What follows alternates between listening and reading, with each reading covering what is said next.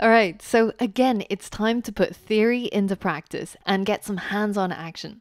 You should be able to find the day 1.3 assignment, which is inputs.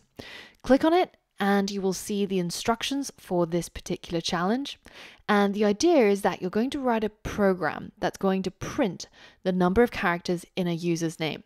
For example, if I input my name, which is Angela, it should output the number six because there's six characters in the word Angela.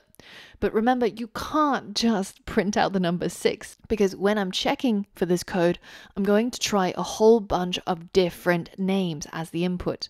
And you're going to have to use a little bit of thinking, a little bit of Googling, and also a little bit of messing around with the code in order to get it to work. If you need any help, there's a few hints down here for you. And if you really get stuck, then you can take a look at the solution, but not until you've really given it a go. And I really, really want to know that you've tried hard. And the whole point of these exercises is you sit there and scratch your head a little bit and actually give it a good go. So I'm going to stop talking now and I'm going to let you pause the video and try to complete this challenge. All right, good luck. Okay, so how did that go?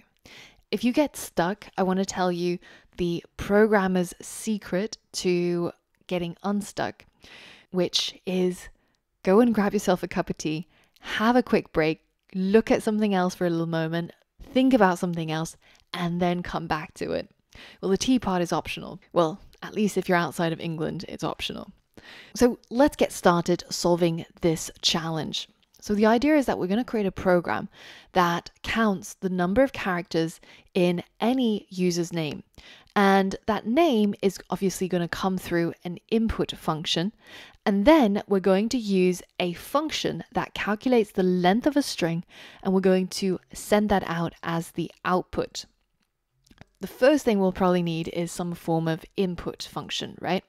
And the prompt that we're going to give the user is what is your name or something similar that asks them for their name. And I like to add a space at the end of the prompt. This way, when you run it, you don't actually have that cursor straight next to the, um, the question mark, which looks a bit weird. But either way, once we've entered an input, then this part gets replaced by that input and we're going to do something with it. We're going to calculate the length of that string. Now, using our eyes, we can obviously see that it's six characters long, but what if you have a really long name?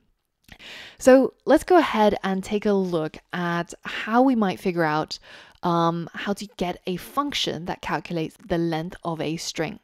I've actually included the Google search that you might need to use. And so let's just paste that URL in here and you can see that we're searching for how to get the length of a string in Python and we're trying to get results from Stack Overflow. The first result is a question that seems to pretty much match exactly what we want. And the answer from user 225312 tells us that you need to use the len function. And the way that you use it is by passing the string inside the parentheses.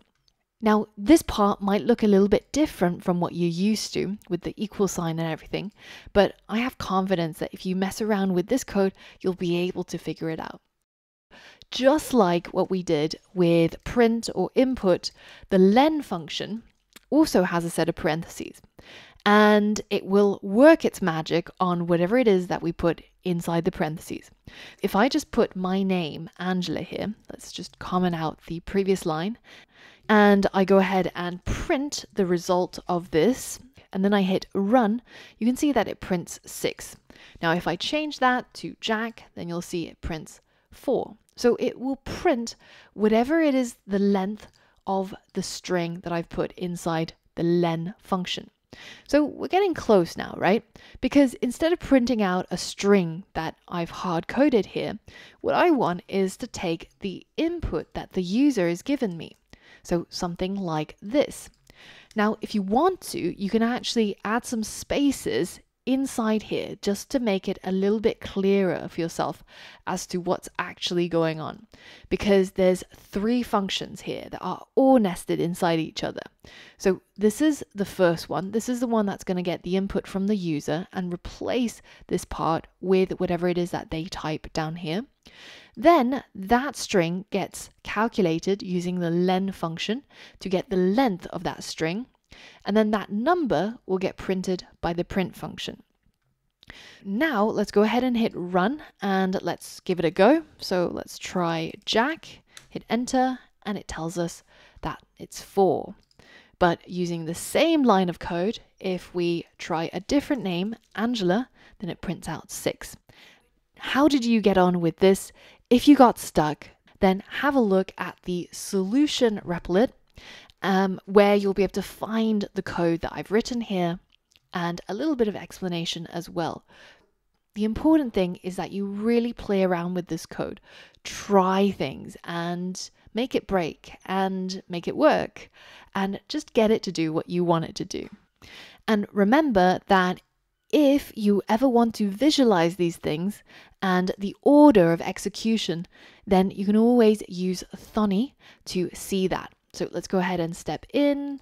You'll see that it goes through len, input, and then it's going to carry out this functionality. Input, I give it my name, hit enter, then it puts that inside the len function like so. So now the next step is this part. We're going to calculate the length of this string. And as I continue stepping into it, you can see that becomes six.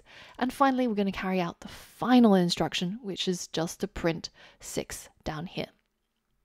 Again, this can be quite useful just to visualize all the steps that are happening, if you want to. Once you're done, head over to the next lesson, and I'm going to talk to you all about Python variables and how we'll be able to identify pieces of data in our code.